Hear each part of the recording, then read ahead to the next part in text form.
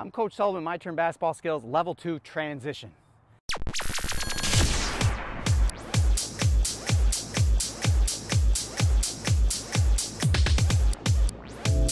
Let's look at the between the legs gather. I see a lot of players struggle with this when they first learn how to do it.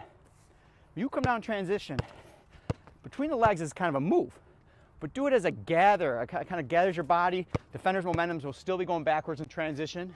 So I'm down, I'm between the legs, and then I'm right into my shot. So let's take a look at that. I'm coming down transition, I'm between the legs, boom, right into my shot. Notice you didn't see me going left, right on the between the legs. And you'll be surprised the number of times you'll make that shot because it gathers, it balances you, and it gives you some rhythm into the shot. That's a between the legs, gather, transition, two, or three pointer. I'm Coach Sullivan. Make sure you check out myturnbasketball.com to download all the skills. Make sure you subscribe to this channel and remind yourself it's my turn.